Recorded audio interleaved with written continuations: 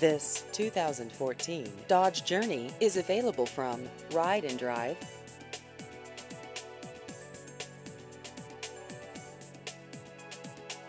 This vehicle has just over 20,000 miles.